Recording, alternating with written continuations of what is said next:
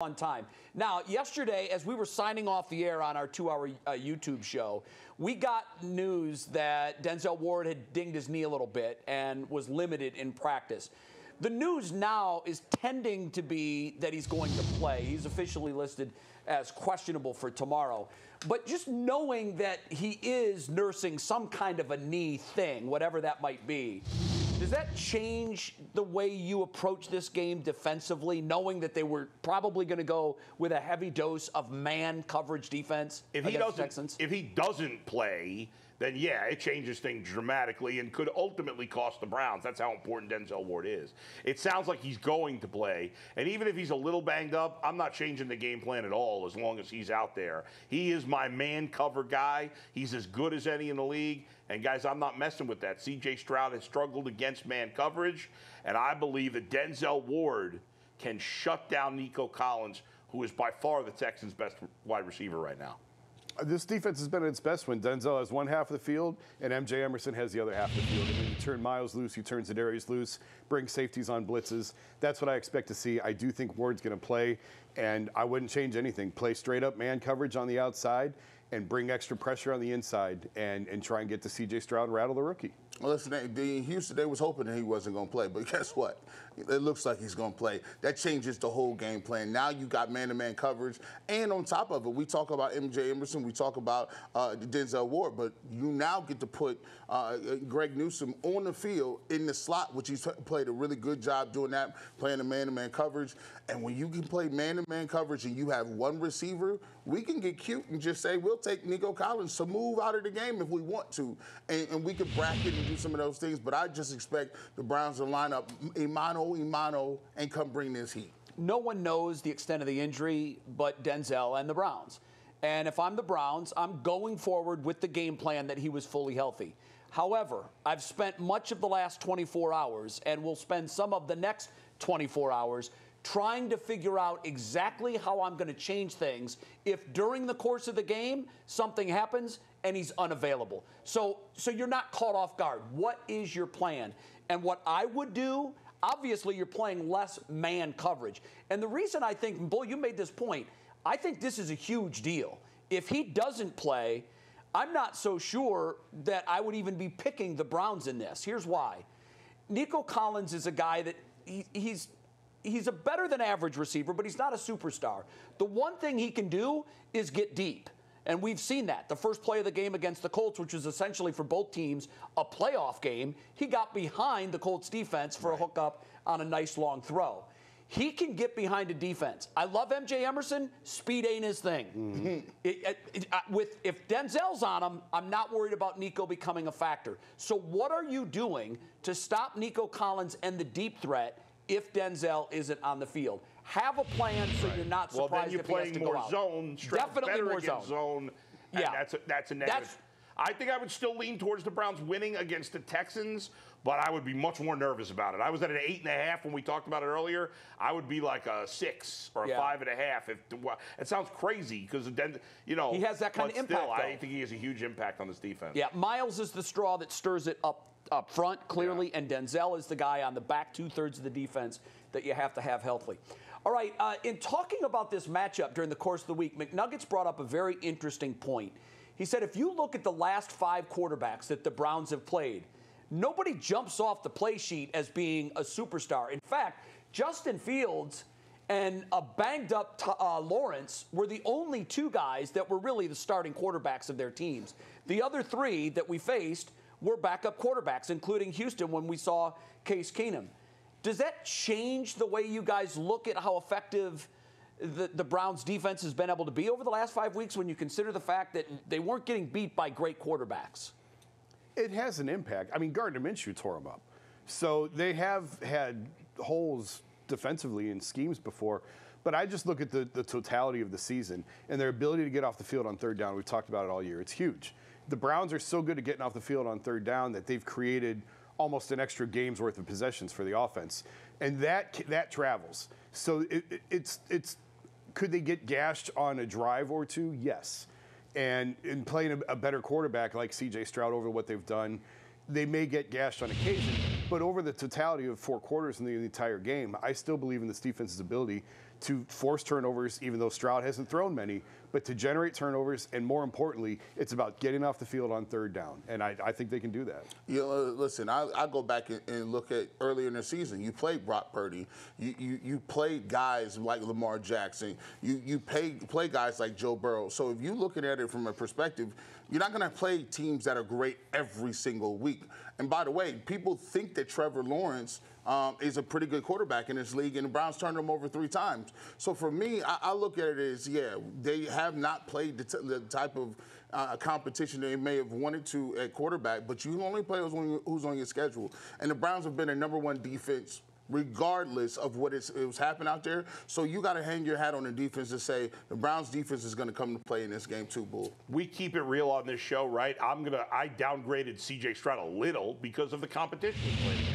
So I got to do the same thing for the Browns defense. That being said, I don't think that list of quarterbacks is as bad as we're making it out to be.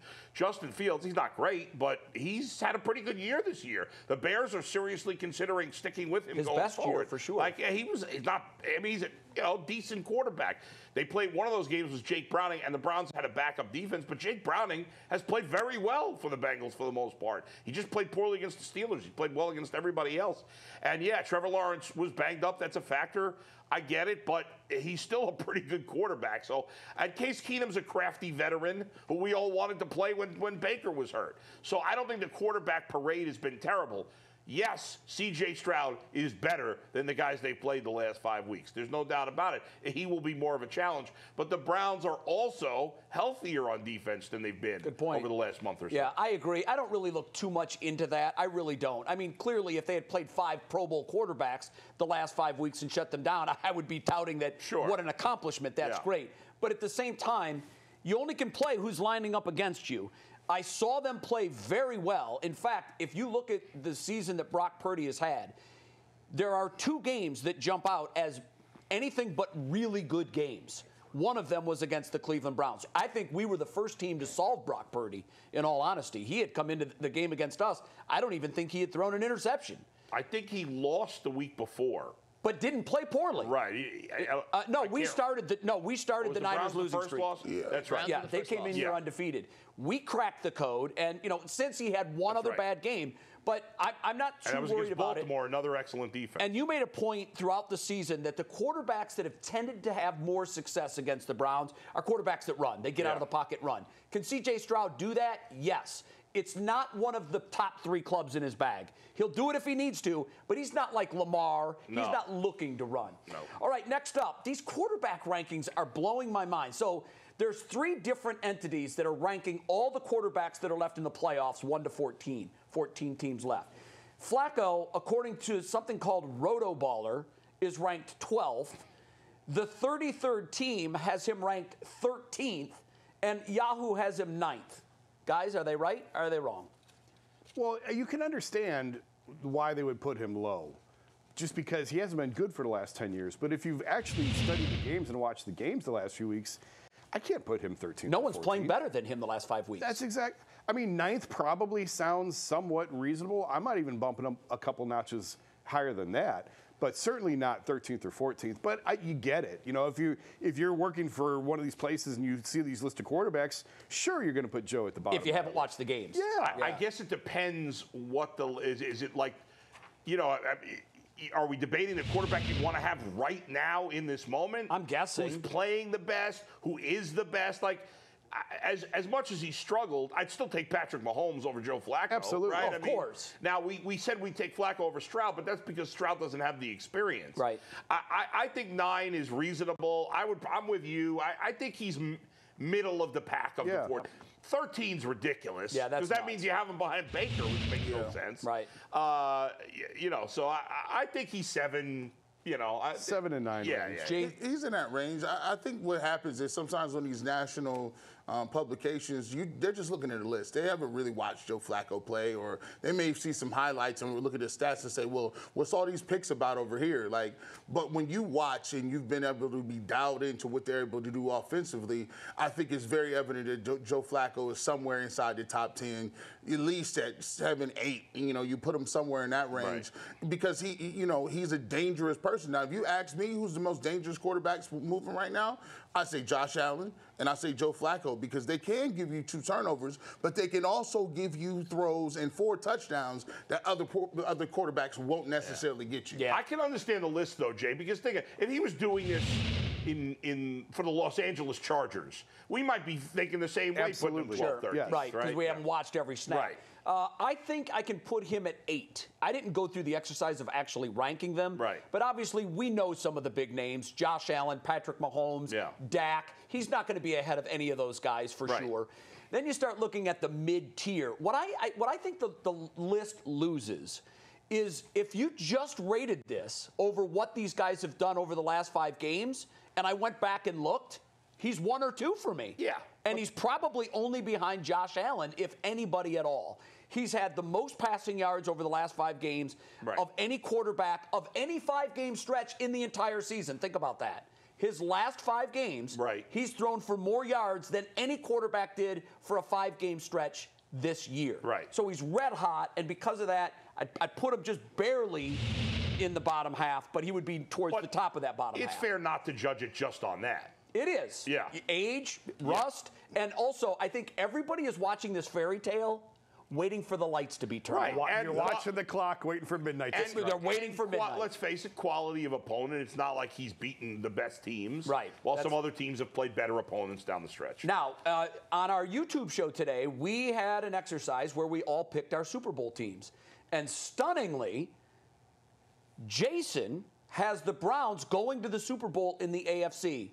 Bull or Bush has the Browns winning the Super Bowl. So I kind of get a sense of where our answer is going to be here. But is there is there another rabbit out of the hat for Joe Flacco, and he can make another crazy run to a Super Bowl championship? Absolutely. Yeah, I, I didn't pick the Browns to go to the Super Bowl. I got them going to the AFC Championship game. But I think the Browns, for the first time since I've been covering them, and for the first time in decades, are a legitimate Super Bowl contender. I, I, I don't see how anybody could argue against it. Not the favorite. They don't belong. They, they shouldn't be the favorite. Right. But they should be a serious contender. He could And do it. With his experience, especially winning road games, the way he's playing right now, yeah, there's more of a chance that he could turn into a pumpkin than some other guys who have been more consistent in recent years. But the way he's playing right now and the defense they have, if he continues playing like this, there's no there's no reason the Browns couldn't win a Super Bowl this year. outside of Mahomes, I don't know if there's another quarterback that I have more confidence in being able to handle a postseason setting in a pressure game. You just saw his record, 10 and 5 in the postseason, as many road wins as any quarterback in the history of the NFL. Like this is a guy that does not get rattled. He's a big reason why I think I absolutely think the Browns are going to the to the Super Bowl. And I know like I'm the Grinch of the show and I'm the villain and I'm dead inside and all that.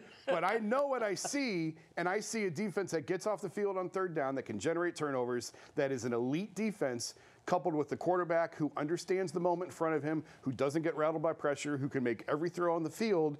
And I look at it and say they have everything they need to go to the Super Bowl. Why not? Why not the Browns? I love you, man. I'm serious. No, I just never expected you to say it. The Kool-Aid is rubbing off. I tell you, listen, the Browns have never had an offensive defense at the same time.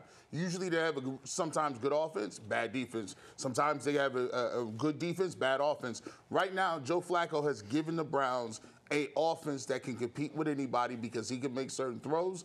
The defense has always been stellar. When you got offense and defense and clicking at the right time, you can win a Super Bowl. Wow, so we got three yeses. Um, I guess I'm going to steal the banner of Grinch of the show at There you least go. for this topic because I try to keep it as real as I possibly can. My heart says yes, he can and he will. My head says he can, but he won't. Yeah. And that's where I am right now. I, now, look, could that change if he puts up another ridiculous performance in NRG and they put up 45 and come back with a 45 3 win? We're gonna wheel you in on a gurney on Monday. Bruh, I'm going back in the lab with my pen and my pad, as she likes to say, and we'll revisit it. Yeah. But right now, where I sit today, I think he can, but I don't think he will. Yeah. Sadly, and and and, and probably my years of being a Browns fan and waiting for the midnight to strike Yep. are playing a little bit into that. But that's kind of the way I see it right now.